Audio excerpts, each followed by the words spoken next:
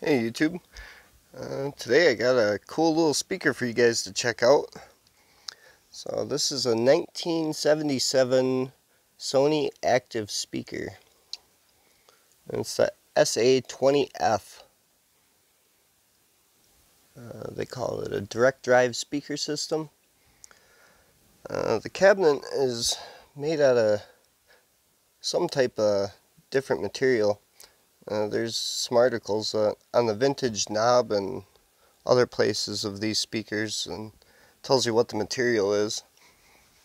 Um, I'd have to look it up. But it has an amplifier in the back.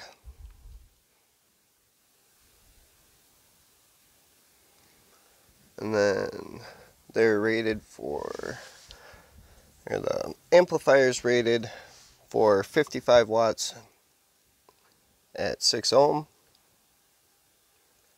Uh, the speaker system is 6 ohm, 100 watt. So what's really neat about this speaker is that it has a flat woofer which this is one of the early ones with a flat cone woofer. Uh, it also has dB compensator. It has a very unique ribbon tweeter in it also. Uh, I'm going to take take this one apart and show you guys in a, another video but and it's it's definitely a neat tweeter and then the woofer so it's got a cast aluminum basket and trim ring and all that. But this is actually an aluminum heat sink for the woofer.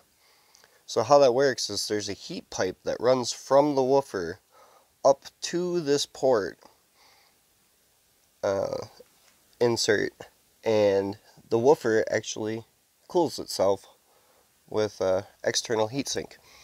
And the way this port works is it draws air back over the amplifier, over the MOSFETs to keep it cool. So, yeah, it's a really neat speaker. Uh, I got this one off Goodwill. And uh, I actually got another one coming too.